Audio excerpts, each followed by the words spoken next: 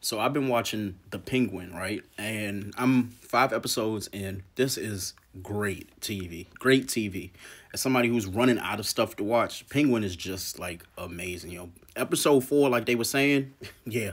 Yeah, 10 out of 10. 10 out of 10. That was some incredible acting. Like I've never I, I don't want the series to end to be completely honest. I'm sitting there watching it. I'm like, yo, like they've they've made like 50 minutes of show like entertaining. And the storylines the callbacks everything is just like awesome yo. Like i'm trying to mentally prepare myself now for episode six. So i'm actually about to watch it now and i just need to know for like the comic book readers and things like that. Like how accurate is the show compared to the comics. Now, I'm I'm a Batman fan. I just didn't read all the comics. I wasn't a comic guy, but I, this stuff is amazing, yo. it's amazing.